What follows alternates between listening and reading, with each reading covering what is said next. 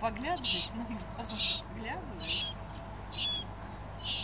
Она еще не такая маленькая.